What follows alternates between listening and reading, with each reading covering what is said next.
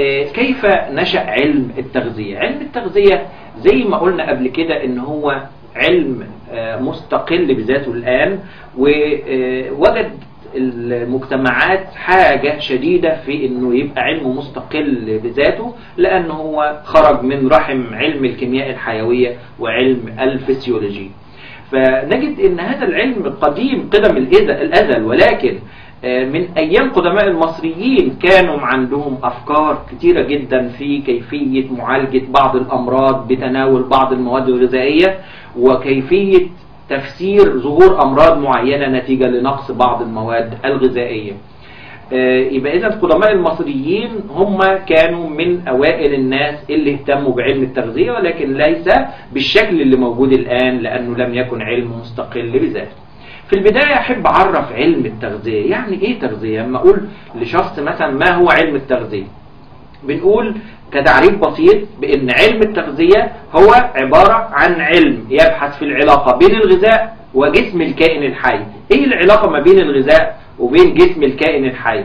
والتغذية ككلمة أو مصطلح بيقصد به العديد من العمليات. بمعنى أن فيه عندنا في الأول كيفية الحصول على الغذاء كيفية تناول هذا الغذاء كيفية هضم الغذاء ثم امتصاصه ثم الاستفادة منه ثم التخلص من الفضلات أو الغير آه، قيمة غذائية أو الغذاء الذي ليس له قيمة غذائية.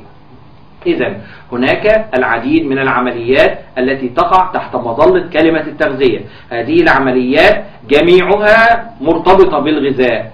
إزاي إن ال- الواحد بيحصل على غذائه طبعا أما أقول إزاي الواحد بيحصل على غذائه بالنسبة للبني آدم آه، بتبقى عملية طبيعية إنه بيشتغل وبيجيب آه، فلوس يجيب بها أكل ويروح يشتريه. لكن بالنسبة للكائنات الحية التانية اللي هي آه، كل الحيوانات فبنجد إن جميع الحيوانات بالإضافة للإنسان لهم عدة عدة آه، طرق مختلفة لعملية البحث عن الغذاء. ففي ناس بتاكل أعشاب في ناس بتاكل لحوم في ناس بتاكل من الناحيتين أو يعني بتاكل الأعشاب واللحوم معا. فبنجد مثلا معظم الحيوانات اللي بتتغذى على اللحوم لها طبيعة خاصة. بنجد إن النظر بتاعها بيبقى إلى الأمام. فلو تأملنا مثلا كده النظر بتاع الأسد اللي بيتغذى على اللحوم هنجد نظره إلى الأمام مباشرة. نجد إن مثلا في آه، واحد زي الحصان أو الأرنب بيتغذى على الأعشاب اللي هي الحاجات الورقية. بنجد إن اتجاه النظر بتاعه إلى الجانبين على اليمين وعلى اليسار.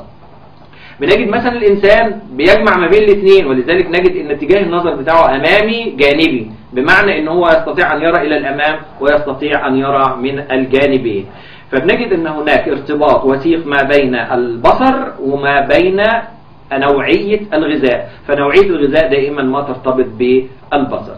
الحاجة الثانية إيه هي كلمة غذاء؟ يعني إيه الطعام اللي إحنا بناكله ده؟ بنجد إن الناس آه، عرفته تعريف بسيط جدا وهو إنه أي مادة يتناولها الشخص ما عدا المية والأكسجين سواء هذه المادة صلبة أو سائلة. أي مادة بيتناولها الشخص أو الكائن الحي وتصبح بطريقة ما جزءا من تكوينه أي أن كل مادة بتدخل عن طريق الفم وبتصل إلى المعدة وبتمشي في القناة الهضمية ويحصل لها كل عمليات هضم وتمتص وهذه المواد الممتصة تصل إلى الدورة الدموية وتصل إلى الأنسجة وتستفيد منها الأنسجة سواء من ناحية البناء أو من ناحية الطاقة أو من ناحية ال- ال- ال- الحرق للحصول على الطاقة كل هذا يسمى غذاء. معنى ذلك أن الغذاء له أهمية أهمية عظيمة. فبنجد أن الغذاء بأهميته بتتمحور حول ثلاث نقاط.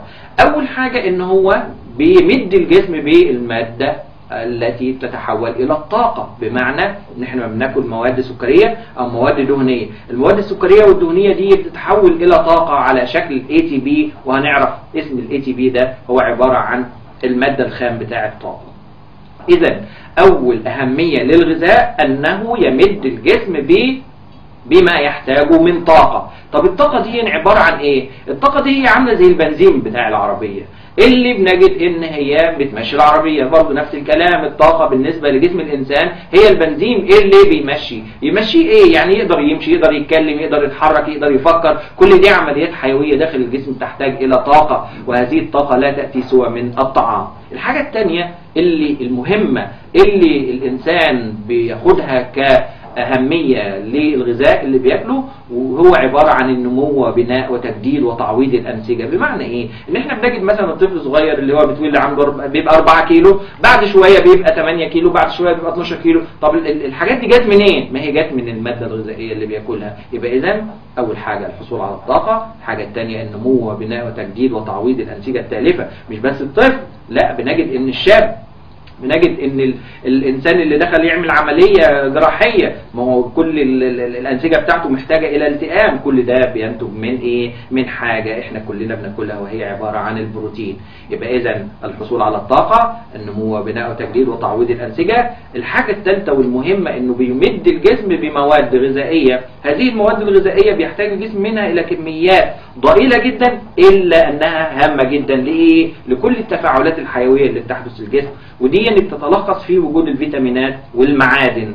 وبالإضافة إلى المية المية دي عبارة عن الوسط اللي بيتم فيه جميع هذه التفاعلات.